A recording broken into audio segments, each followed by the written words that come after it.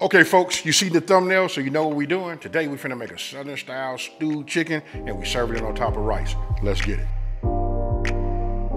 Okay, so we finna get right into it, right? So the reason I have diced onions right now, only reason why is every now and then I get a hair up me, and what I do is I just go ahead and, uh, you know, cut them. I'll dice them all down, and I just save them for the recipe, seeing how I'm cooking every day. All right, so it's a little bit of prep work. As you guys can see, I've already measured out all of my dry ingredients, right? So what I'm doing now is I'm just cutting down my, my celery, right? You just want to cut this down. Just to give you an idea, I'm gonna go ahead and dice these down a little bit on the small side. And don't forget, when you dice them down small, that's for the, you know, flavor. And then when you dice them down and they're a little bit bigger, that's all about the texture. Now I wanna practice what I preach, right? These are like true pro tips, right? So listen, I got a green bell pepper right here. I can cut this down, but I don't need the whole thing. I'm gonna use about half, right? So I've been telling you guys, if you guys save your, uh, you know, like the end and the top, if you cut them the way I do, and then I didn't use everything, look, I got a sliver here, then I got some here I can just cut down.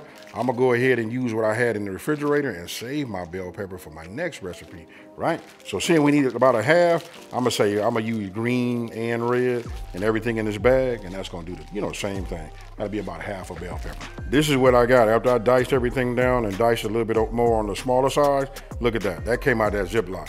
I got my celery here, and I got my onions, right? I'm gonna set my onions back this way, because now what I wanna do is, I wanna go ahead and take my chicken parts. Now you guys can buy a whole chicken, which would be super cheap than to buying different, you know, like drums, you can do breasts. I like to do all of the parts in here when I do stewed chicken, right? So this makes it easy for me. So now that I got drums, I got thighs in here. Now look, all of my ingredients that I had that were dry, we just gonna add these on top of here, right? You guys are gonna appreciate this because it becomes more like a little dump and go, right? So then we're gonna go ahead and make sure it's on all. Now what you guys are seeing right now is me seasoning. This is how I come up with like good food, folks. You gotta have the seasoning. Now, let me just say this. If I mince my garlic and put this on here, because I'm gonna brown my chicken, and when I do that, you know what I mean? When you put that and you start browning, you got the garlic on there, it kind of like burns, make these little dark knots or whatever. So I'm gonna show you. I just want you to save this. I like to mince mine. I'm gonna set this off to the side. Now I'm getting ready to get in here with my hand and make sure I tumble all of these together and we get seasoning on it all. All right, so let me show you this piece right here. Normally I trim, but because we're gonna do stew, this right here is gonna be our flavor. This skin is gonna melt down and do, do its thing. And along with, you know, the seasoning, it just, it's a great marriage, right? So you wanna have all of that. And the fact that when you have skin, you know what I mean? You can pull it back. You know what I mean? You can put some seasoning just everywhere. But all of this is gonna play a part at the end. And when you say stewed chicken, I'm sure everybody come running to the table. I ain't gonna lie. If they don't, I will. Next thing we're gonna do is we're gonna go ahead and you know get a fire underneath here. We need to get this Dutch oven. Now you guys can use Dutch oven. You can go ahead and uh, use, I say use Dutch oven because listen, we wanna stew it so we want to have enough on the edge. Unless you got one of them deep, you know, skillets, cast iron skillets, right? So I start with like a medium flame just to get everything nice and hot, right? Here, I got my, um, this is scallion infused. I'm gonna go ahead and put some of this in here because we want this to get nice and hot. You don't need no whole lot because once it starts getting hot, the chicken gonna render its own fat anyway. Now, I don't know if you guys can see, but we didn't reach that smoking point, right? So I'm going to go ahead and put my chicken in. Listen, I want you guys to take, take a look at this, and I want you to listen too. Listen to that right there. Yes, sir. Now I want you to notice I'm putting it in skin side down.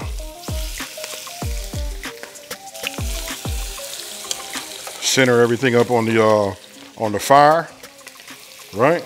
And now we just let that work. Now remember, another pro tip is I don't pick it up to keep looking at the bottom or nothing like that. Once it's fully cooked, it just releases itself. So all of the meat, just like steak, it has a self timer in the inside. Listen, when it's ready to be moved, I can just like tap it a couple of times and it should just slide. Then I start looking at it and see, do I have the color that I'm trying to achieve? Pro tip number three, folks. Okay, so look, you know, we got everything, you know, prepped and ready to go, except for our potatoes, right? Now I got three small russet potatoes right here. I might add a fourth one it really depends on once I look at all of the meat and I figure out do I have enough and how much potatoes I want to have in the inside. Remember, these are going to be stewed. So listen, nothing like having that. Ooh, man, we got some nice dark meat. It's going to be nice, shreddable. We're going to serve it over some rice. And why not have some, uh, you know, some potatoes, right? Oh, and then I, I don't know why I'm talking like that. Don't forget, we got gravy, folks. Okay, if I touch them like that, see how they slide now? They no longer sticking. So I'm gonna take these and put these down like that. Look at that skin. Uh-huh. Some of y'all gonna probably tell me like, AB, I don't really like my skin on there. If you don't, take it off. You know what I mean? Uh, you can do, you have these any kind of way you like them. You know what I mean? But I like that color right there. I like that little bit of crispness that it's giving right now. But once we get this submerged and everything and it starts to stew, it's gonna soften up and that's gonna be our flavor, folks. So when I touch them here, yeah, they're good. Let's look at the back of them. Oh yeah, yes sir. We just go ahead and stage those in a little bowl. Right? Now I'm gonna continue to do the rest. Now that we're taking the chicken out, you know, I mean, I got it brown. I got it just the way I like it. The seasonings are cooked the way I like it. What I'm gonna do is I'm gonna go ahead and start with my onions and my butter, right?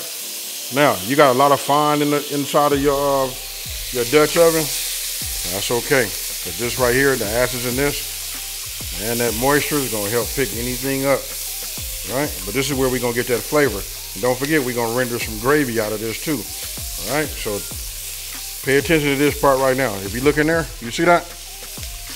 Oh yeah. Right, nice, hot, ready to go. Now I'm getting ready to come with my bell peppers and my celery.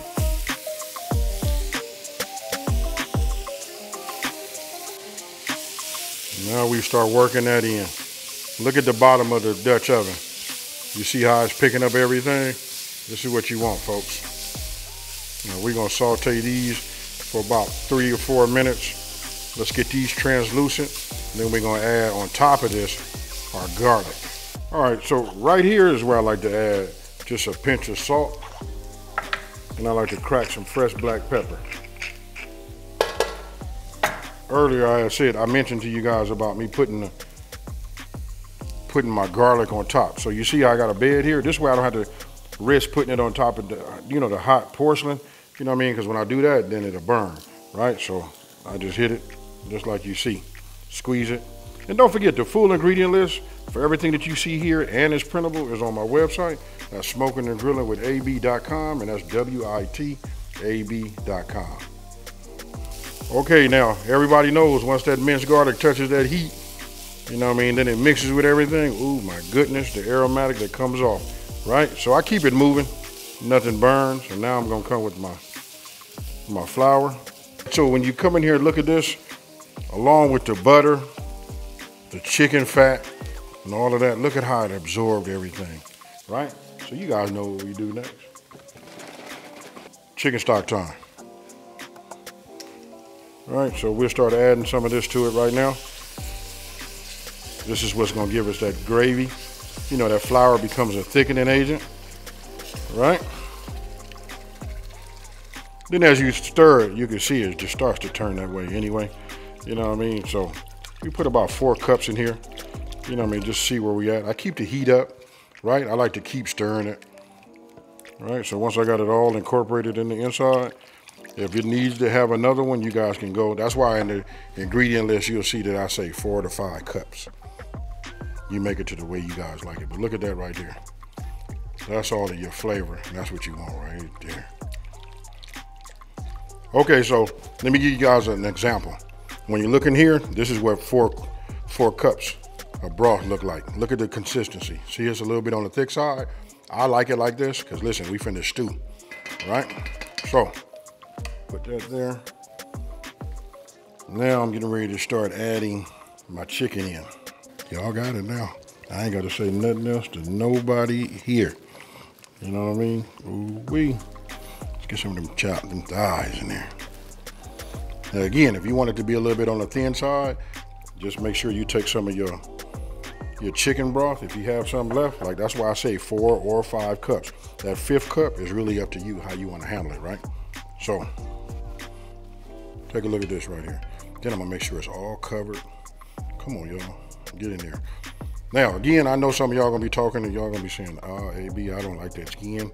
Take your skin off. Do it how you wanna do it. But you see that right there? Mm, mm, mm. All I can tell you is, I'm finna get me some uh, rice going, and it's going down. All right, so if you come in here, look, I've already set my temp, you know, my fire down at the bottom because I want to have a simmer. That right there is what I'm talking about. See, like it crept up just a little bit because we don't want nothing to burn or stick on the bottom, right? Now, let's address the potatoes. I already cut these, put these in water so they don't brown.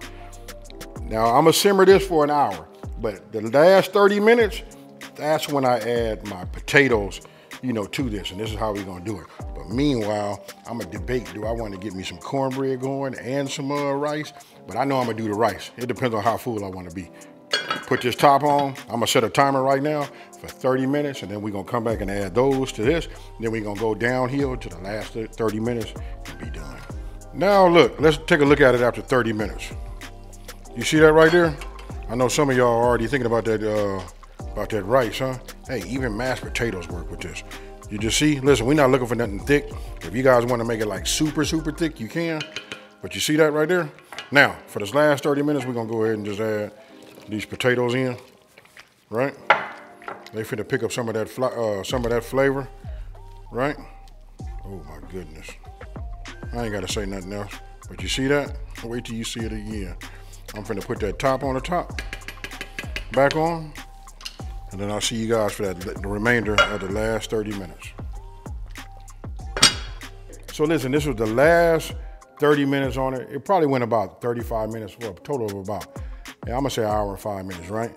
So I wanna show you this right here. If you come in here, look at that. I'll slide this over there to y'all. Look at that right there. That right there, my friend, is the way to go. That turned out great. Now, if I take this and I just do like this, you see, watch, if I just give it a little twist, it's nice and soft. Now, now is the time where your brain should be really like sending that signal. Look at this, it just break up nice and easy. You see what I mean? Just with a little bit of pull right? So let me set this off to the side. Let me take some pictures of it and uh, we go from there.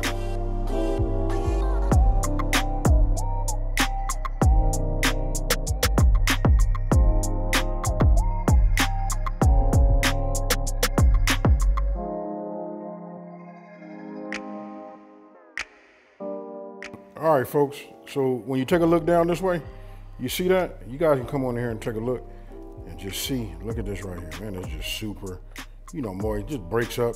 Look, I just stuck it in there. You know what I mean? Uh, this is what y'all care about. This right here. I know some of y'all say, AB, you didn't make enough gravy. If you look here in this pot right here, that's enough gravy for everybody. Hey, listen, I'm not finna over talking. Cheers, y'all.